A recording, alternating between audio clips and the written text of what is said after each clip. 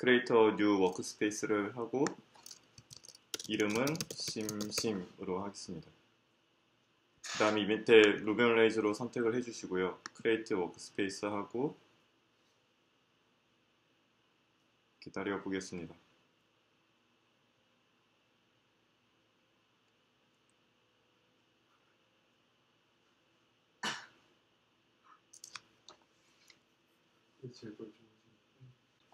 네, 다 로딩이 되었습니다. 그럼 이제 여기서 가장 먼저 해야 될게 어, view부터 구성을 하는 거일 텐데요. 일단 채팅 화면이 하나 필요하고 그리고 학습 화면이 필요합니다. 그러면 여기서 이 화면들을 어떤 거를 표시할지는 controller를 먼저 만들어야 될 텐데요. 그 controller를 만들어 보도록 하겠습니다.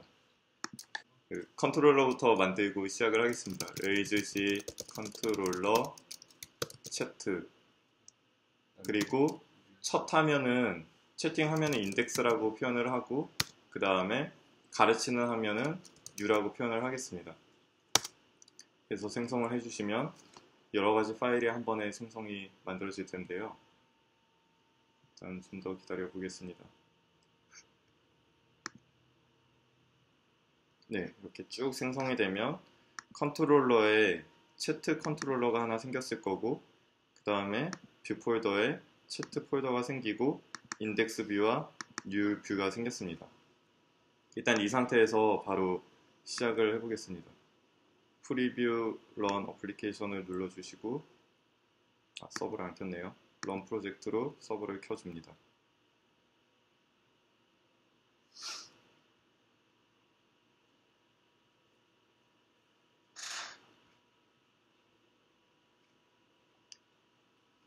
네, 서버가 켜졌으면 이 위에 링크를 누르시면 새 탭으로 열립니다.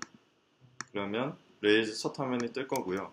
우리가 방금 전에 chat controller에 index view를 만들었기 때문에 chat index를 하게 되면 네, chat index view가 뜨게 됩니다. 그리고 어디에 위치했는지도 뜨고요. 그 다음에 new 페이지도 만들었습니다. 이제 다시 돌아와서 index 화면에다가 어, 우리가 가장 처음 해야 될 게 그 채트 내용을 입력하는 칸을 만들어 보도록 하겠습니다.